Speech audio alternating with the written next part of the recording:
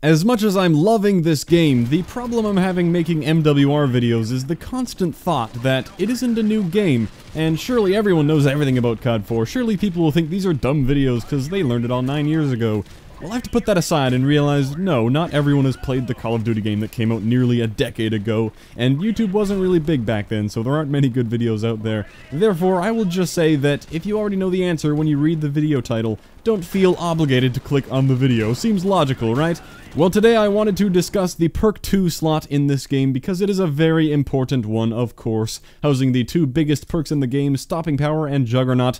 No matter what you choose, you will probably be labeled a noob. Just have to get over that unless you're only ever going to run Overkill. Good luck to you. I will say this though, just to trigger some people. Among the elite, it is agreed that Juggernaut is the more skillful perk between the two. Proven fact, no kappa, come at me. People love to hate on Juggernaut, and I do personally prefer stopping power. Juggernaut does feel more annoying because it pops up when you're shooting people, so it's easy to blame it for dying. But your hatred for Juggernaut is not entirely based in logic. anyway, at the end I think I'll also come up with ways to use the other tier 2 perks. They're not that bad, and if you're like me wanting to complete challenges, you will have to try out all the perks at some point. Alright, now you may have already figured out that Stopping Power and Juggernaut are very good, but you might be wondering just how much they help, and if maybe there are some cases where Stopping Power doesn't matter, because what if it increased your damage by 10%? That might help with time to kill for some weapons at some ranges, but do nothing other times. Well, that would be if it were 10%. Stopping Power actually increases your bullet damage by 40%. Now you can see why it's a big deal. Meanwhile, Juggernaut decreases incoming bullet and explosive damage by 25%, or 0.75, working out to around 135 health if you want to express it that way, although that isn't technically how it works. So they do cancel each other out, along with Sonic Boom, I'll add that in. Juggernaut does counter Sonic Boom and Stopping Power, while Sonic Boom and Stopping Power counter Juggernaut. By cancel out, I mean it's essentially like neither of you have any tier 2 perk. Sonic Boom is pretty good by the way, and in fact I'll take a quick look at the other tier 2 perks before diving into the Juggernaut versus Stopping Power stuff. Sonic Boom increases explosive damage by 125%, but more importantly than just giving you that number, it nearly doubles the lethal radius of explosives, which is an insane boost if you want to build an asshole class for shipment or something. Frag times 3 Martyrdom Sonic Boom, ah yeah, definitely something. UAV Jammer is another great perk. It is the ghost or cold-blooded of this game, completely hides you from UAVs, which is very good in a game where UAV spam is extremely common and they don't get shot down. It just gets overshadowed by the big two perks. And in fact, that makes UAV Jammer even better because it isn't as common of a perk. A lot of people rely on their minimap more than they otherwise would in a game where a ghost perk is common. If they see nobody on the minimap, they'll be more willing to assume that there's actually nobody there, and that can work to your advantage if you give up stopping power or Jug to run UAV Jammer. That's why Juggernaut and Stopping Power are healthy for COD 4. If you take out those two OP perks, then suddenly everyone's running UAV Jammer, and that is not fun. You should be at a disadvantage if you choose to go with UAV Jammer. That is good balance IMO. It's like choosing a stealth class over a fighter or a tank class. You give up some firepower to have stealth. Overkill has its usefulness for sure. You'll always have ammo and you can pack two weapons for different ranges, but that won't help in every game. Double Tap sounds like another great perk, fire rate increase of 135%. This one also increases your damage output, but why would you opt for more recoil and burning your ammo quickly when you have stopping power right there? And then finally Sleight of Hand, which is a very handy perk indeed. Jesus. Yeah, it's good, but not great when you look at the options. So with that, back to Stopping Power and Juggernaut, and back to whether or not Stopping Power is helpful for all weapons. Well, with that 1.4 times multiplier, the answer is pretty much, yeah, the COD 4 weapon stats are all pretty simplistic compared to modern Call of Duties. Nowadays you see very specific damage numbers that all drop off to different numbers at three or four different ranges.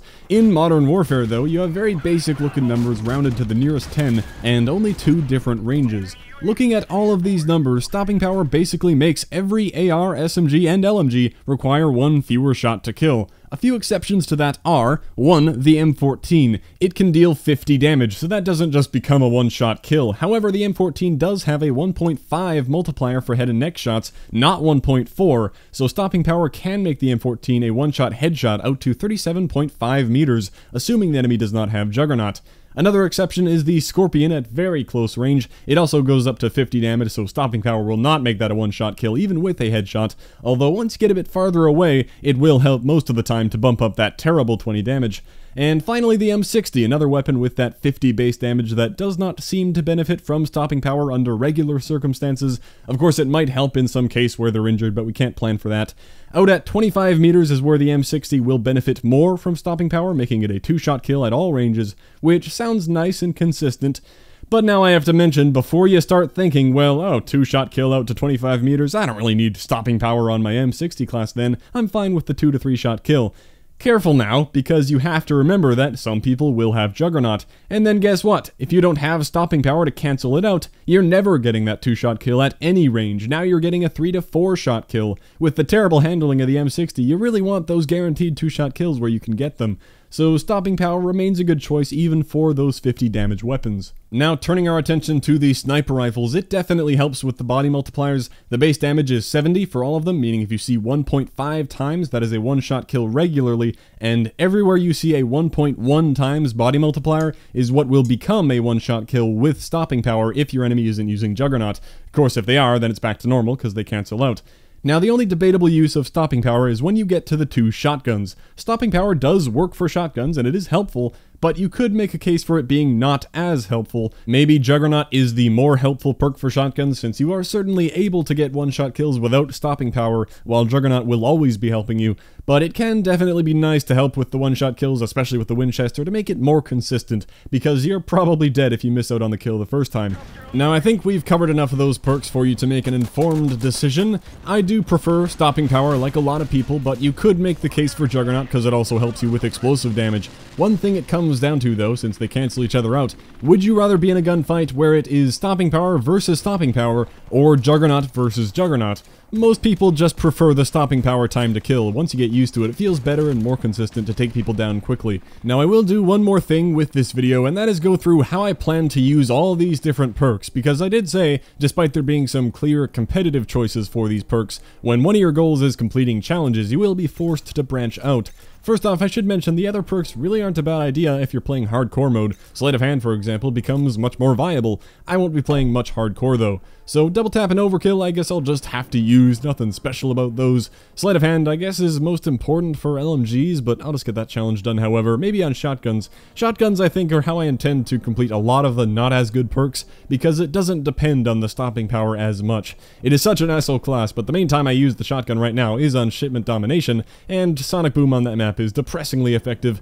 When not on shipment, UAV Jammer would definitely help run up on people and flank with a shotgun, especially paired with Dead Silence and I wish I could justify using UAV Jammer on a sniper class, but that is just a terrible idea. The logic would have been that because I'm going for camos on everything, I only really care about the headshots, and I don't mind giving up any extra potential body one-shot one kills to more hit markers, that's fine. But Juggernaut ruins that line of thinking, because I'm pretty sure a headshot won't kill a Juggernaut user if I'm not using stopping power, so I don't plan on running any sniper rifle without stopping power, and I suggest you do the same. That about wraps up our talk on the Tier 2 red perks of MWR. Maybe you already knew everything, but if you stayed here for the entire time, hopefully you did not and you learned something. Either way, thanks for watching, and I'll catch you next time.